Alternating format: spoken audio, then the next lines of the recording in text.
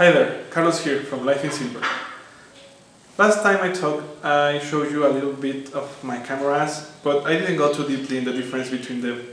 So I would like to use this new video to explain a little bit more in detail. And also I made an entry on my blog, Life in Silver 2. Well, the name is Life in Silver.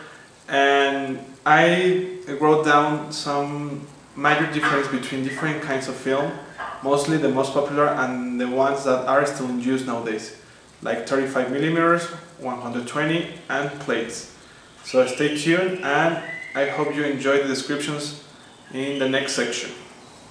First of all, I would like to talk about uh, point and shot cameras. Point and shot cameras were the most easy to use cameras around. They were marketed to all kind of well to any person who would like to take photos. Uh, they these cameras most of the time has a fixed lens and a fixed speed and a fixed aperture.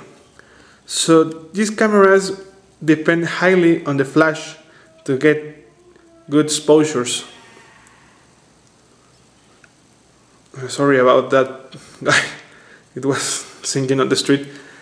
So as you can see, well, these last cameras were made all about plastic because if I, I'm gonna show you a different camera later and it was also marketed as a point and shot.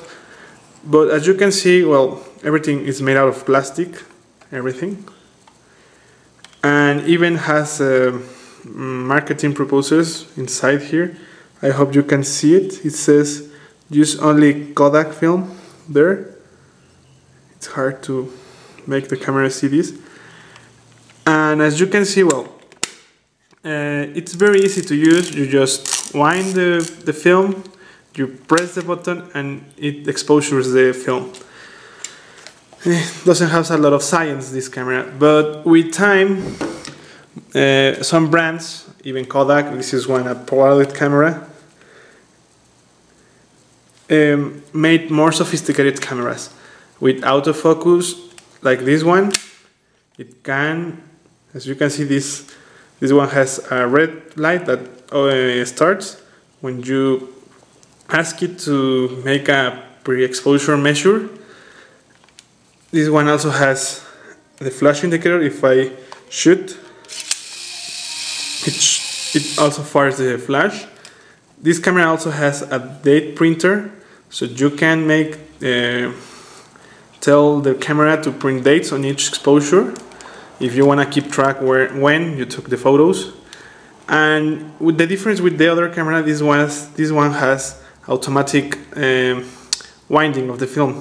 Each time I take the photo, this roll start to rotating and it carries the film with it. And also, this camera has two um, special contacts back in here. So the older cans from film, as you can see, this one has this silver and black um, coding.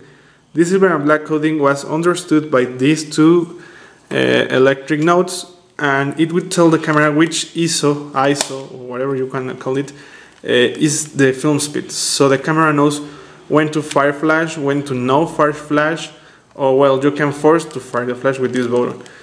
Um, another interesting thing about this camera is that it has a panoramic uh, feature, which is just um, a shape. I will show you how when I enter the panoramic, these two guys go uh, like well widening the frame. So you can achieve like some movie style uh, photos with it. Okay this was also a point and shot camera but back in the 60s 70s as you can see it's very very far away from the other two plastic ones. The camera is made out of metal. I don't know which metal is. And a very few plastic parts some leather leather kind textures and well it is also a little bit more heavy than the other two. Difference with the other two cameras is that you need to know a, a little bit about photography as you can see if this is in focus you will see you have different uh, aperture settings and speed settings. Even you have bulb setting. So this was a very very easy to handle camera, but at the time was the common and it has a film on it. So I just ruined that frame. I forgot it, and well, this camera doesn't have anything to do with electronics. That was a downside with it because to know you the exposure, you had to have a paper exposure or you need to have an hand exposure or whatever you need or well experience itself so you can make various uh, photos well exposed as with as as long this camera doesn't tell you how you're gonna be the light settings on the on the film. Uh, so the only interesting thing is that this camera has this dial that makes you remind you black and white tungsten balanced film and daylight balanced film for color both this. This was black and white. It has its counter. It has the the knob with the screw to put the remote. And well that's all. It's a very cute camera. It's also it's also made by Kodak. I hope you can see it. And in small letters it says it's made in Germany. So well as you can see, manufacturers came a long way from making their stuff in Europe and then making their stuff in China. At last but not least, well, are the famous SLR cameras. SLR cameras are well known and around photography for being like the trademark of pro photographers, even if it this doesn't true because, well, it is like the most used camera around photographers. As you can see, well, the great advantage of SLR cameras is that you can change the objective, the lens you put on the camera. If you see, these cameras had the chance to put, well, at least from the same brand most of the time, different kinds of ob objectives or lenses. And these give you the opportunity to make a lot of creative things instead of just portraits or landscapes and well and so on. The other feature or great feature about these cameras are the customization. In in the case you have you can put some flashes, they have a very well balanced center for tripod, even for making uh, bigger landscapes. Uh, well, these cameras, the older models, have the preset settings, like if you me to say that, uh, in which, well, the camera with this small processor knows what to do in each kind of, uh, in each setting. And well, the uh, the manual settings. Well, the manual settings are just one, but the other three ones like P, TV, AV let you choose uh, freely how you want to be to make the exposure. So, well, that's the advantage of SLR cameras. Older cameras, which uh, well I don't have, uh, are most of them are manual only. Manual only means that you have to know how to use them. So, uh, if you need to know how to use a camera, left a comment, and I make some videos explaining how to use a camera like this one or like the Kodak one that's behind there. And let's go on. If you have noticed, uh, I haven't talked about any other film size. That's because I don't own any other film size camera. So if you have any doubt about any specific uh, kind of film, please let me know in the comments here on the blog. And now I'm gonna tell you and show you what are you going to be needing after you take some photos. Uh, about taking your photos, well, uh, I will tell you about how to use your camera properly the next the next video. So in this case, this is just some kind to prepare you to what kind of things are you gonna be needing. For the purposes of this tutorial, well, I'm gonna be at the start teaching uh, about how to shoot on black and white because well having those chemicals and having the stuff to develop and to work with them are more easy to get are even common to find, well, in any photographic supply store.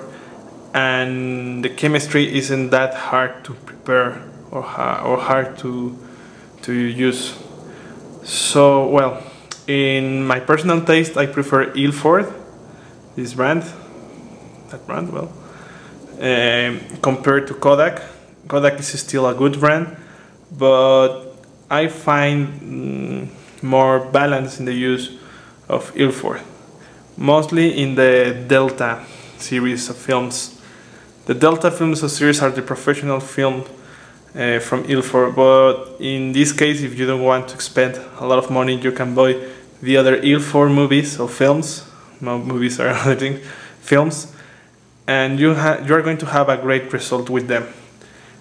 In the next, well, my next tip, or at least my tip, is due to buy a bulk film. Bulk film comes uh, in a, as the package say, it's well, it's, uh, here it is. It's one 100 feet. I hope this can 100 feet uh, film. Uh, well, it has the size, the height, 35 millimeters um, by 30.5 meters if you don't like to use imperial system. But you're gonna be needing a lot of empty canisters with at least a film strip or you can find some uh, uh, openable canisters that you can fill with them. I'm gonna teach you how to fill this and well and after you have both the bulk the empty canisters or you have a lot of these and well this is going to be like uh, a chicken and the egg kind of thing because if you haven't shot film and you haven't developed it's very rare that you will have some of these without any kind of film you're gonna be needing to find a bulk film loader. This this device is made or is made well to load film with, with it. Uh, I found this in a swap meet in San Diego. It cost me well. The seller didn't know what what what he had, and it was a surprise to find it. It's very well. It's very well conserved. If you tell me that, it has all the pieces, even had its manual, as you can see, very old manual. And the more surprising thing is made on Chicago, Illinois. So well, things are things have changed a lot since then. So let me start with this small tutorial about how to use this thing. So for this tutorial, what are we going to need? Is a pair of scissors, uh, an empty magazine with a strip outside or if you bought one of these that are empty well the empty of these, and if you are gonna be using one of these you're gonna need a little bit strip of film that doesn't works anymore the bulk film the bulk film loader and some uh, masking tape or something magic tape or whatever you like to call this so if you're going to be using one of these, well, these ones open pretty easily. You just, uh, with your nail or with whatever, with your fingers, you can take out one of the one of the covers and take out the spool. The spool has uh, in the middle has, has uh, um, an opening with teeth. This teeth has a way. Well, it's the thicker to the less thicker part.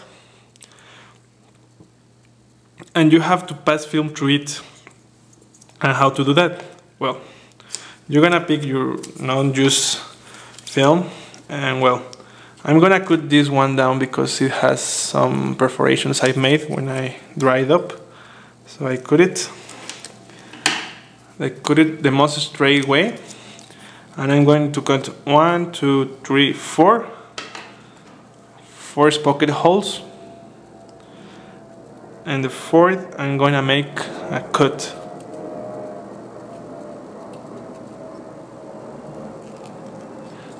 Trying to make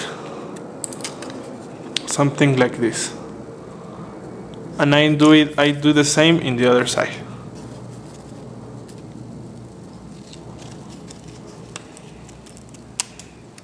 It's gonna be like a tongue like this one. Uh, try to make it uh, more to the middle of the film. So just be careful. And you're gonna see where the the small part from the teeth are going. Well you pass your film it like this one. You pass it. It's gonna look like something like that. You can see. And you're going to bend the other part. And bend it and make it make sure it enters in a small part in this side so the film cannot be detached. You won't need this long uh, film. Well the next step just make sure you you can spool it a little bit. Wind it sorry and enter it. Make sure. Close it. And that's all you're gonna be needing um, at least three one two three or four maybe. But three is better. You won't be you can use that again. And you have something like this one. See?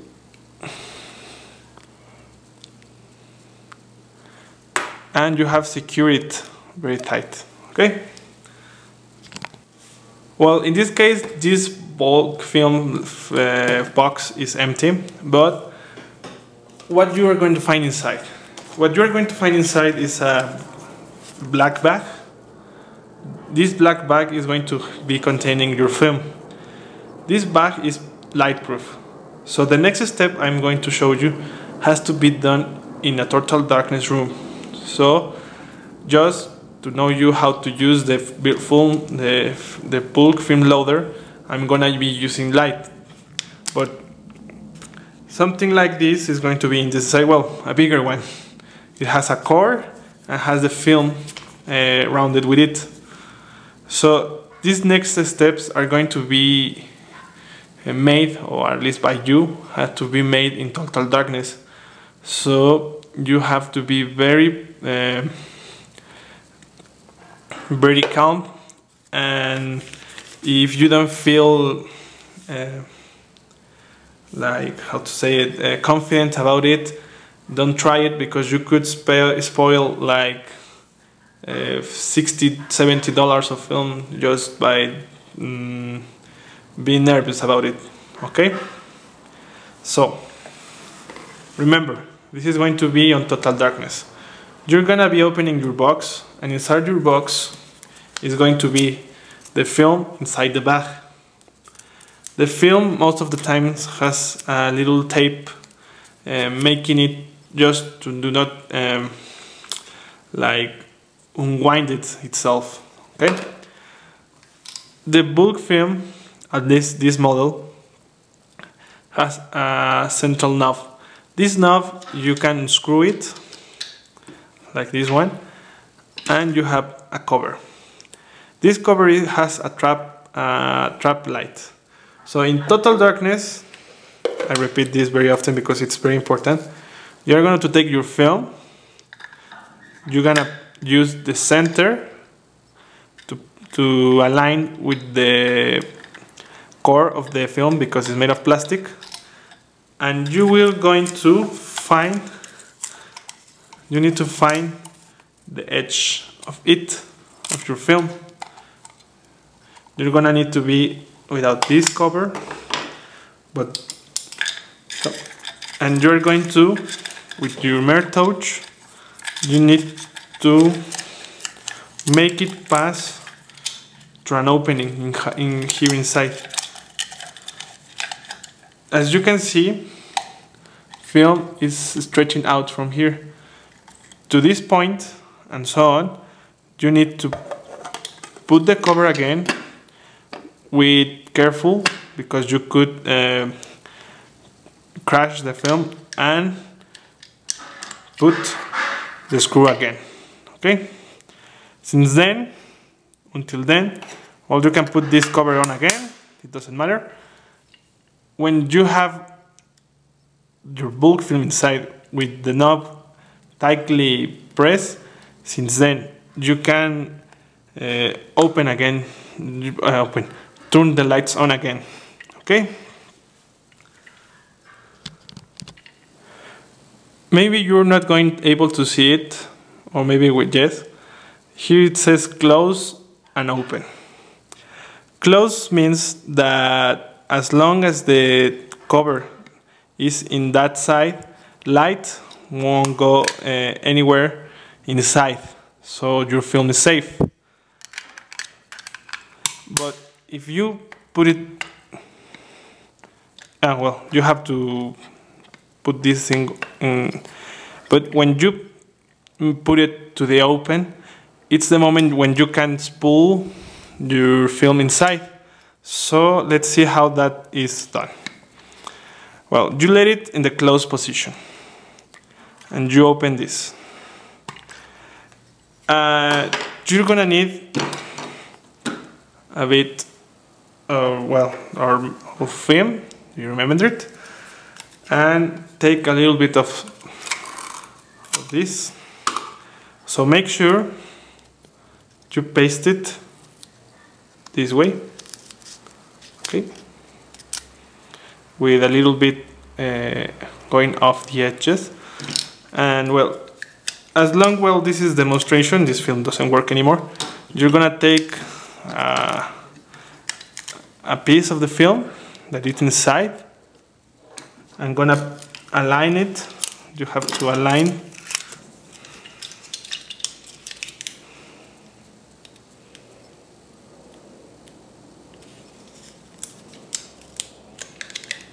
you have to align it this way and bend. And be sure to press tight on the on the sides. And press again.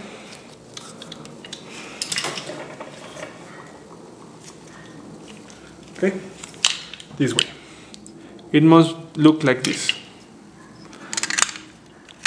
We're going to open this knob let it down and push a little bit this because the film got a little bit too too far away.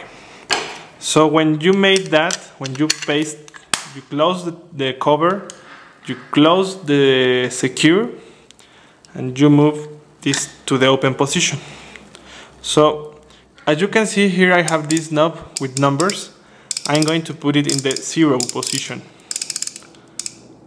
Okay, I'm going to press this down and and roll it. Uh, if you see this thing in clock sideway. As you can see, as long as I keep turning the knob, the numbers are starting to count and well the numbers tell you how many photos are inside the magazine or the canister normal uh, normal loads are made about like 36 so as maybe you won't be able to see it very clearly but well the film got over. The idea of this is to wind it until you put it to the number of exposures you want per roll. The most um, common common number of exposures are 36.